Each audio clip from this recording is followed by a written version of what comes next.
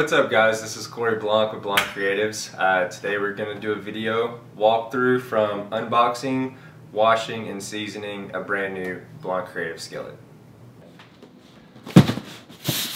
Alright, fresh box. Let's see what we got.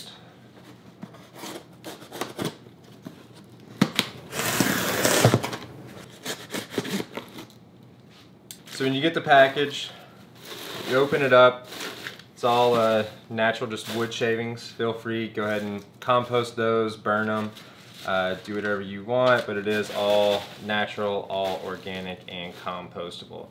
You'll have an order slip and thank you cards, care cards, and some recipe cards in there. So read through those, check out the recipes, try them out.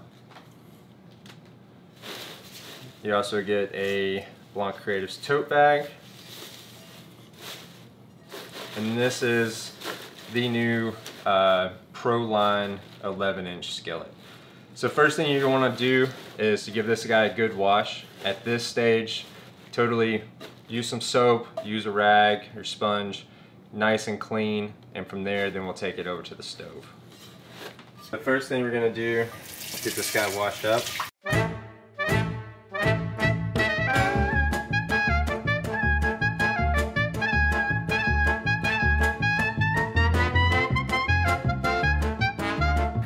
Alright, now we're going to take it over to the stove to dry it off.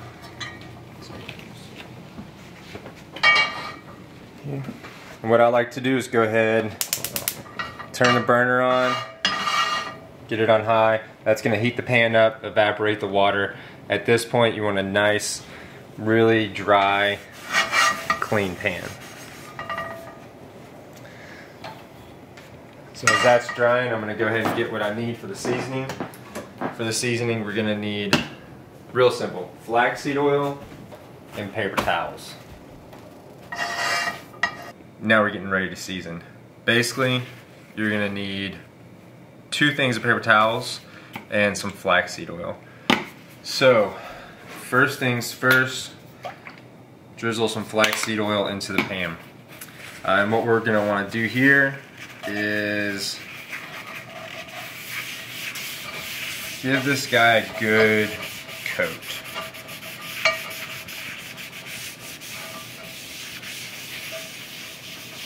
So if any of you have seen the previous seasoning video that I made, uh, I was continually adding oil as I was heating up the pan. Um, I know several people have had issues with that, with too much oil the oil hardening on the pan, not just a thin layer, but really making a nice coated, um, almost enameled looking seasoning. Uh, so we're just going to start off with a little bit of oil. I'm going to show you a way that's pretty much fail proof. So a little bit of oil in the pan. We've wiped it in. I'm going to take the other rag. I'm going to sort of now wipe off the oil. We really want just a light, light coating on this pan.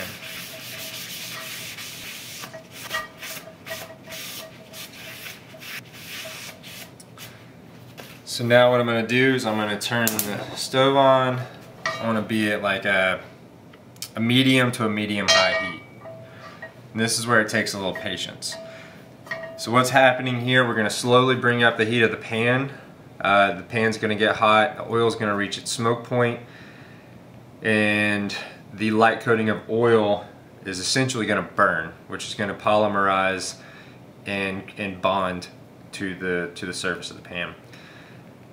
This whole process will probably take about 10 or 15 minutes. You just want to watch it as it goes. The pan starts off as this blue gray color. What we're looking for is a nice transition in color. So starts off blue gray, it's to then get a little ambery looking golden. From there it's to get like a richer brown and then we're to be almost black. So now I'm just to let this sit and wait. You see it's kind of gone from the, the bright blue that it was in the beginning, starting to get a little bit of an amber tint going on.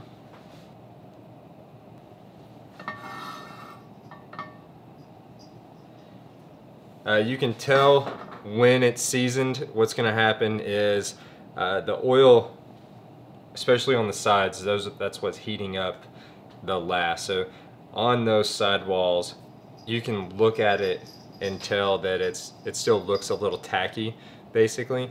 Um, and you just want to go just past that point. It'll get more of a matte look instead of like a shiny, uh, liquidy, gooey, tacky appearance to it. I'm just gonna take my bit of paper towel again. It's still got a little bit of oil on it. I'm not putting any more oil in the pan. I'm just taking the paper towel that had a little bit of oil from before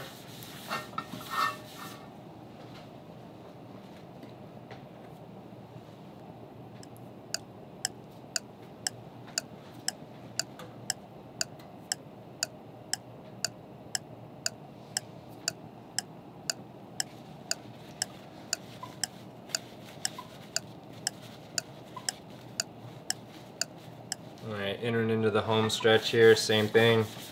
Not adding oil, there's just some oil on the paper towel. Some nice sort of micro coats of oil.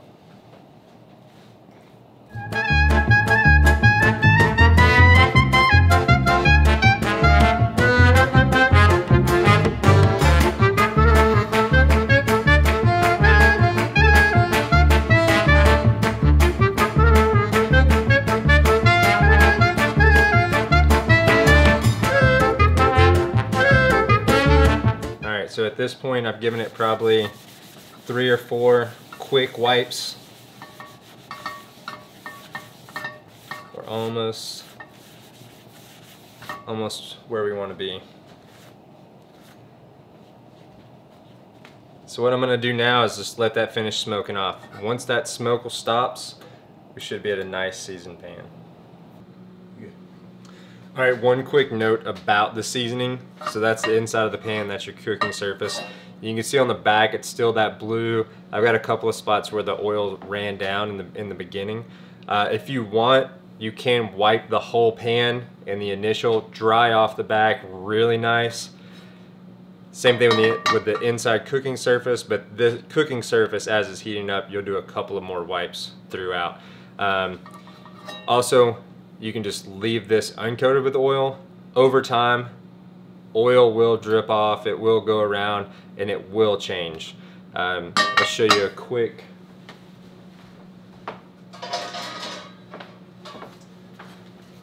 So just for a reference point of view, this is a brand new pan that we seasoned today. The backside's still that blue. This is a pan I've had for a couple of years, pretty much my daily driver.